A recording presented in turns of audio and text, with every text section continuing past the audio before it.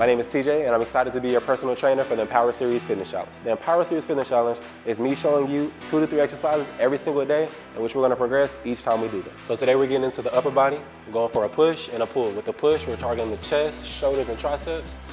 Pull, we're going for the back and the biceps. Starting off with the classic push, push up for the push up.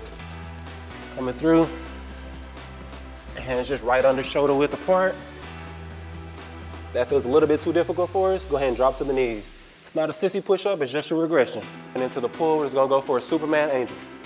Hands are gonna be out in front of us. Get a good tight squeeze in the back, arms up. Reach around to the glute, coming right on back. Feel a little hard. Keep your hands at the side. Shoulders coming up. Good squeeze in the back. Right back down. We're going for 10 reps on each one of those exercises, going for four sets. If you can do a little bit more, go for it.